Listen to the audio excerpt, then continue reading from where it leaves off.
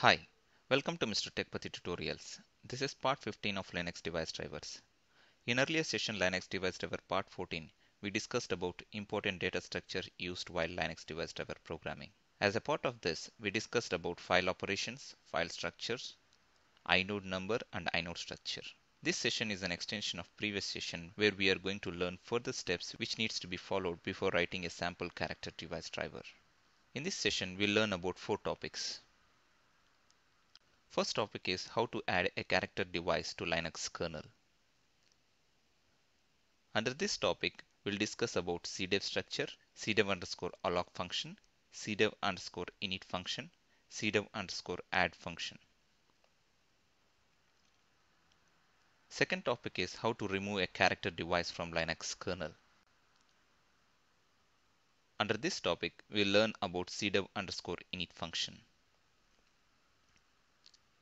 Third topic is adding our scull character device to Linux kernel. Fourth topic is removing scull character device from Linux kernel. So let's jump to our first topic. How to add a character device to Linux kernel. In earlier Linux device driver parts, we have discussed ways to register a character device and how to allocate a major and minor number to it. We have also covered the file operations and important data structures useful for character device programming. Now it's time to add your character device to your kernel. Let's see how a character device is added to Linux kernel. In Linux device driver part 14, while discussing inode structure, we learned that kernel uses structures of type struct cdev to represent characters internally. Struct cdev is one of the elements of inode structure. Note that if the kernel has to invoke your device, it has to register a structure of this type. This structure is defined in cdev.h Linux header file. This file carries cdev structure and its associated helper functions.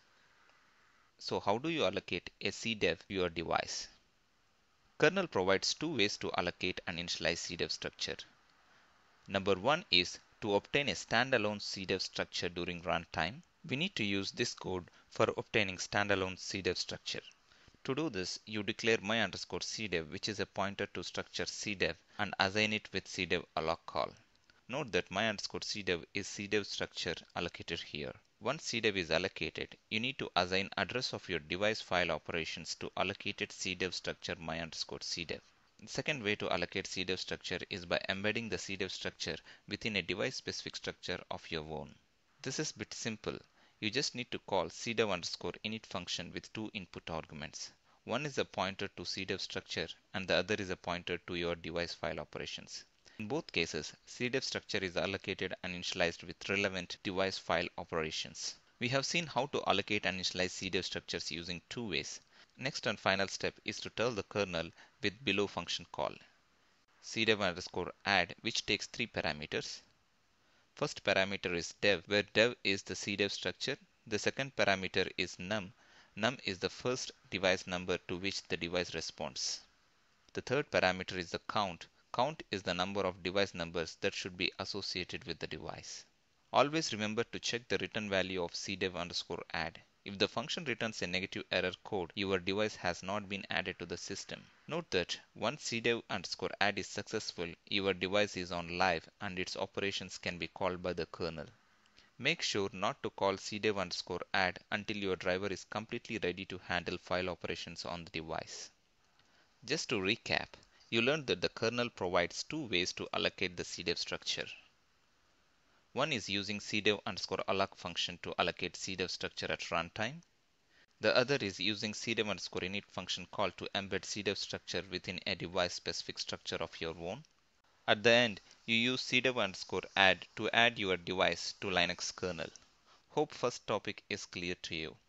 Now let's move to our second topic, removing a character device from Linux kernel. We have seen how to add cdev structure to Linux kernel. Let's learn how to remove it from Linux kernel. To remove a character device from Linux kernel, we need to use below function. We call cdev underscore del function with a cdev structure pointer dev. This dev pointer is the one which we used for cdev underscore add function call earlier. Just for your information, never ever access cdev structure after passing it to cdev underscore del function. From Linux device driver part 13, we made a habit of learning a Linux device driver concept and applying it to scull device driver. First, we wrote a small code snippet to allocate a region for scull device driver in Linux device driver part 13. In part 14, we learned about scull file operations. In this session, we learned a new concept of adding and removing character device to Linux kernel. We are going to see how a scull character device is added and removed to Linux kernel in our third and fourth topics. Remember, we decided to integrate all the small code snippets of scull device driver into one at the end after learning necessary concepts required for Linux device driver programming. Our third topic is adding scull character device to Linux kernel. But before learning the procedure to add scull device to Linux kernel, let's learn about scull device structure. This is the way how scull underscore dev structure is defined. Please don't panic by seeing this structure. We'll discuss various fields in the structure as we come to them. Just remember that cdev structure is embedded within scull underscore dev structure. For time being, let's totally concentrate on cdev structure in scull underscore dev which interfaces our scull device driver to Linux kernel. Now let's start learning the procedure to add scull device to Linux kernel. While starting this session, we discussed about two ways to add character device driver to Linux kernel. One way is during runtime by using cdev underscore alloc. The second way is to use cdev underscore init. Let's use second way to add our scull device to Linux kernel. Below is a small code snippet from O'Reilly Linux device driver book. As you can see, the name of the function which adds our scull device to Linux kernel is named as scull underscore setup underscore cdev. We are passing two arguments to this function. First parameter is dev, which is a pointer to scull device structure and the second parameter is index which is of type integer. Right after entering the function we declare two integer variables error and device number where device number is initialized with mkdev macro which returns a 32-bit device underscore t quantity with a known major and minor numbers of your scull device. If you are not sure about makedev macro, please watch Linux device driver part 12. Right after retrieving dev underscore t quantity, we call cdev underscore init function with two arguments. One argument is address of scull device cdev structure. The second argument is address to scull file operations. Similar to file underscore operation structure which we discussed in Linux device driver part 14, structure cdev has a owner field that should be set to this module. We assign the cdev structure owner as this underscore module. Next, store scull file operations address into your cdev ops. Finally, we use cdev underscore add function which adds our scull device to Linux kernel.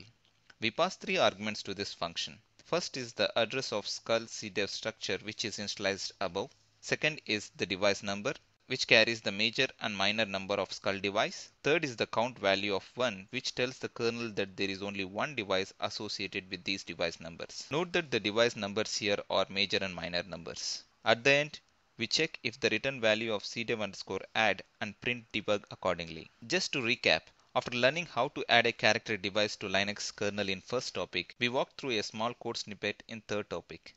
This small code snippet initializes the cdev structure, which is a part of scull device scull underscore dev, and makes calls to cdev init and cdev add functions to add scull device to Linux kernel. Coming to our final topic of this session, removing a scull character device from Linux kernel. We use cdev underscore del function to do this. We pass address of scull cdev structure which is used while calling cdev underscore add function. Hope you are clear on discussed four topics. Thanks for watching this tutorial.